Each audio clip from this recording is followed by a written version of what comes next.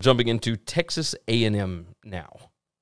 And A&M this is another tricky tricky spot because talent-wise, I mean they are way way up there.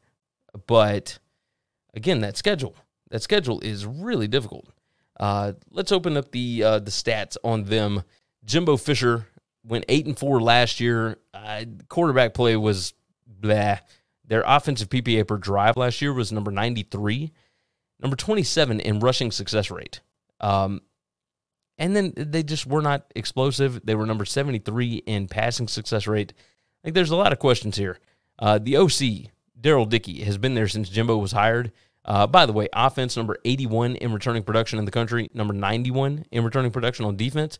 But again, number one recruiting class, you're going to expect some of those guys to jump in immediately.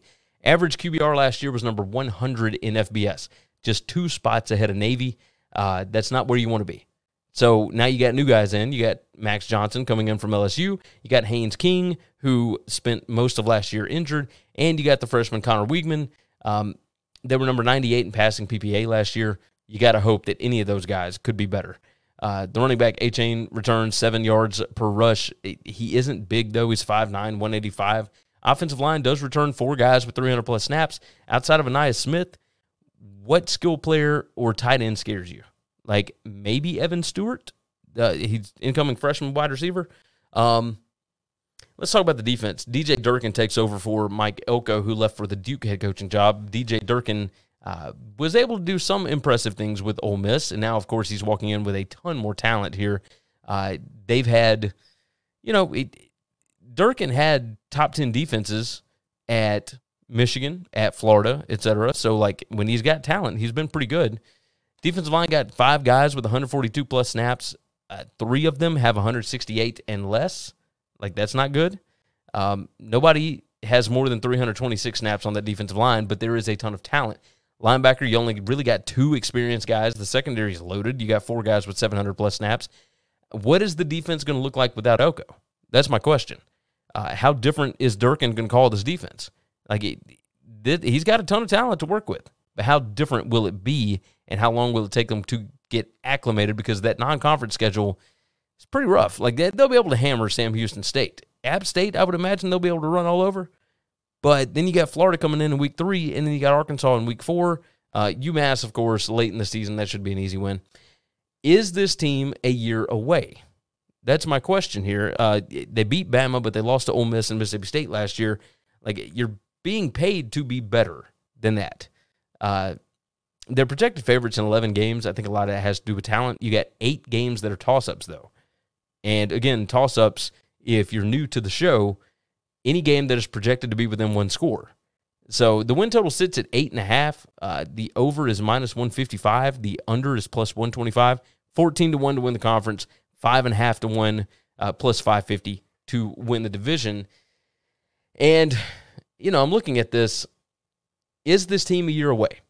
right? That's that's my question here. You need the quarterback to hit. Uh, in order for that to happen, you got to have somebody besides Ainias Smith step up at wide receiver. Like you got to be a little more explosive. Offense was number 54 in pass rate.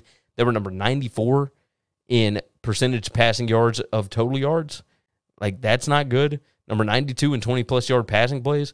Defense could see a ton of freshmen playing early. Uh, the schedule before the bye week is pretty rough. Like weeks two through six are going to tell us what this team is like looking at the fundamentals, like they could certainly be better at that. And and last year might have just been a quarterback thing, but penalties per game is number 93, turnover margin number 72. Uh, they were number 61 in giveaways per game. So on top of that, like for your turnover margin to be number 72, if you're number 61 in giveaways per game, uh, you're probably not doing so hot as far as takeaways per game. So you got to be kind of aggressive as far as that goes. You got a lot of talent now you can be risky. And yeah, while I know the schedule is tough, like I like A and I like talent. You you guys know that I tend to side with talent more than anything else.